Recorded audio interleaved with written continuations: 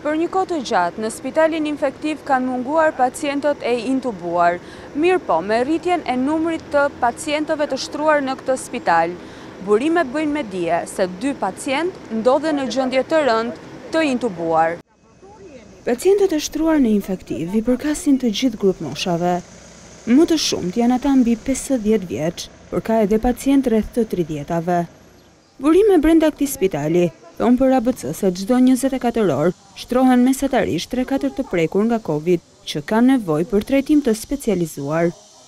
Mjekët thonë se pjesa më e madhe e tyre paraqesin simptoma të ngjashme me ato të variantit Delta. Në reanimacion ka edhe pacientë që po trajtohen me tre burime oksigjeni.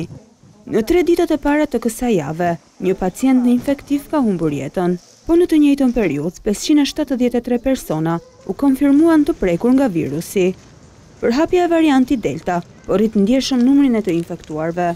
Në këto kushte, autoritetet po i paraprinë shtimit të kapaciteteve spitalore për këta të sëmurë. Pacientët të cilët më herët trajtoheshin në Infektiv, pas mbylljes së tij, po marrin shërbim tek Ish-Kirurgjia, mirëpo, është dhënë urdhër që mos të pranohen më shtrime të reja, pasi me rritjen e rasteve të pacientëve në spitale, po pritet rikthimi i tij në spital Covid. Autoritetet shëndetësore apelojnë për vaksinimin e plotë kundër Covid, si e vetmja alternativë për t'u mbrojtur nga format e rënda të sëmundjes apo humbja e jetës.